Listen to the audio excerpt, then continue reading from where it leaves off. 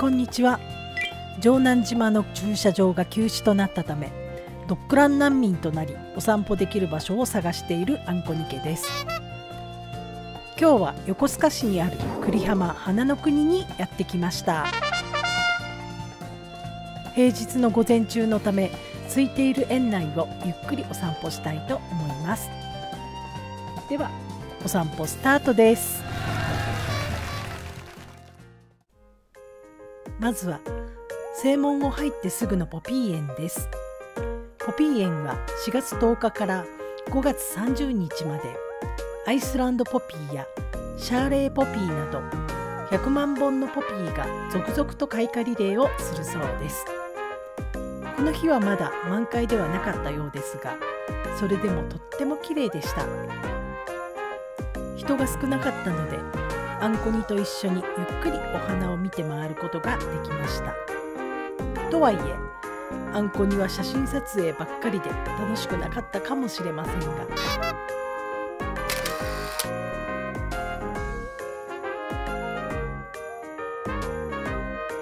秋になるとこちらはコスモス畑になります。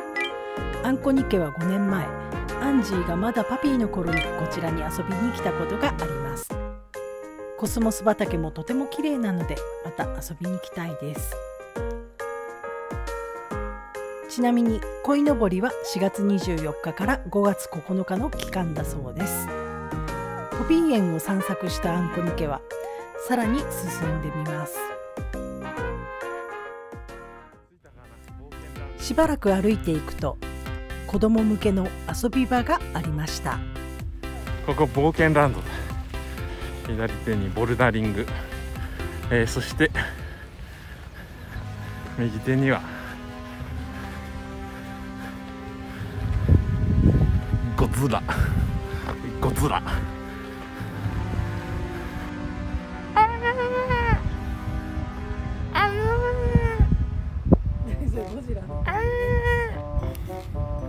そう。ゴジラっぽかった？残念。っぽいけどちょっと違う。そして全く興味がないあんこにでした。ちなみにこのゴジラは子供用の滑り台となっております。ついでにあんこに VS ゴジラ近日公開。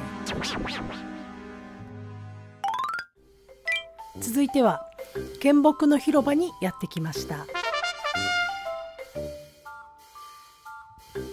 こちらには愛の鐘というのがありまして鳴らしてみるとアンジーは当然ビビリンボーダッコリーに変身です。ちょっとびっくりした。意地悪なパパはもう一回鳴らしちゃいました。ビビって動けなくなったアンジーをしばらく撫でてからもうちょっと園内をお散歩します。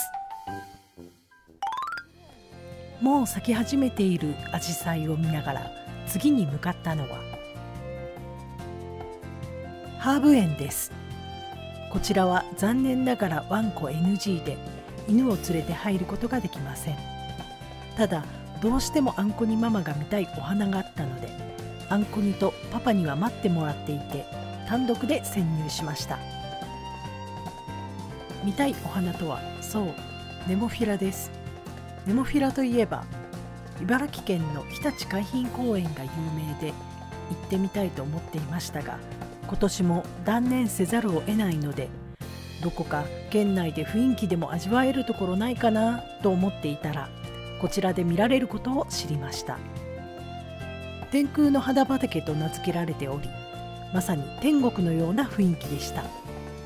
夏にはひまわり畑冬から春にかけては菜の花が見頃となるそうです。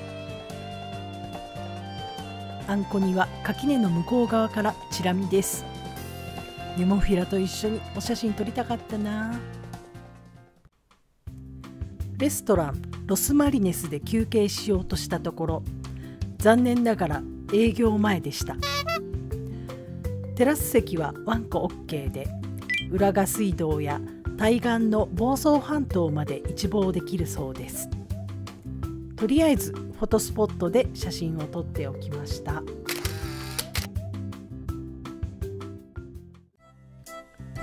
一番端っこの第2駐車場までやってきましたがこちらにはアップダウンの激しい園内を移動するためのフラワートレインというバスの乗り場と駐車場の向こう側に人間用の室内プールがあるだけでした。ということで栗浜花の国をゆっくり一周お散歩しました距離的には 6km 弱歩きましたが園内はアップダウンが激しく運動不足のあんこにパパは翌日筋肉痛になるほどでとてもいい運動になりましたあんこにママは見たかったネモフィラが見られて大満足のお散歩でした普通のお散歩よりお花見しながらのお散歩はとても楽しかったです。